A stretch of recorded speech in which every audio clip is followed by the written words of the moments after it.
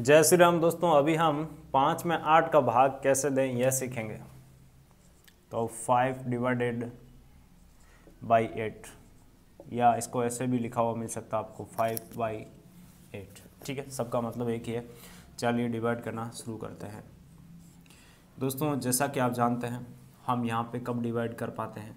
जब यह संख्या क्या होनी चाहिए? जिस संख्या का हम डिवाइड करें, उससे बड़ी होनी चाहिए। यहाँ से, यहाँ पर किससे बड़ी होनी चाहिए आपकी?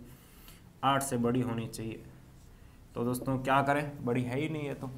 तो हम यहाँ पे पॉइंट लगा देते हैं। जैसे यहाँ पर पॉइंट लगता है, इसके साथ आपका एक ज़ीरो आ जाता है। अब ये कितना बन गया?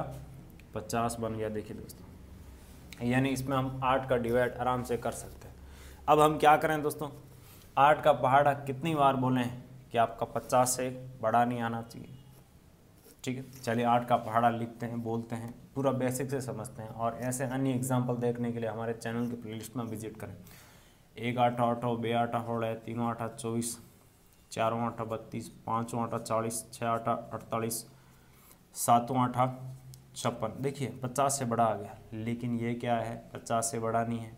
इससे पहले वाला देखिए, ध्यान से, पचास से बड़ा नहीं है। ये कितनी बार पहाड़ा बोलने पर आ रहा है? छः बार बोलने पे। जितनी बार पहाड़ा बोला, उतनी बार आपका भाग चला गया। क्या आ रहा है छः बार पहाड़ा बोलने पे, अड़तालीस आ रहा है।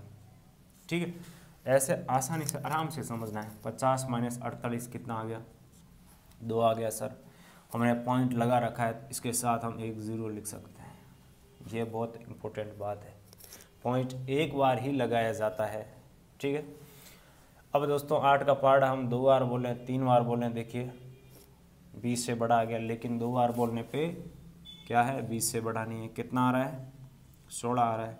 फिर मैंने सर इसको घटाया। कितना आ गया? चार आ गया। पॉइंट लगा रखा है तो मैं चुपचाप इसके साथ ज़ीरो लगा दिया। देखिए, आठ का पार्ट हम जब पाँच बार बोलते हैं तो चालीस खुद आ रहा है। ठीक है? जब खुद आ रहा हो तो हमें और कुछ सोचना ही नहीं है। उसी को लेना है। ठीक है? ठीक है? ओके? समझ गए होंगे? कितनी बार पहाड़ा बोलने पर आ रहा है ये आपका? आठ टू पंजा चालीस। पाँच बार पहाड़ा बोलने पर आ रहा है। यानी भाग कितने बार चला गया? पाँच बार। कितना आ रहा है? वो आपको यहाँ नीचे लिखना होता है। फिर इसको घटाना होता है। चालीस माइनस चालीस क्या आ गया? ज़ीरो आ गया। तो इसके बराबर आपका रिज़ल्ट क्या आ गया? ज़ीरो पॉइंट छ दो पाँच। ये आपका क्या है?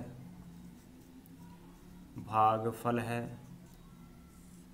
और ये आपका ज़ीरो क्या है यहाँ पर? सेंसफुल है। ठीक है? तो इस तरीके से हम अपना डिवाइड करना सीखते हैं। वीडियो आपको कैसा लगा नीचे कमेंट कर बताएँ। जय श्री राम, हरे कृष्णा।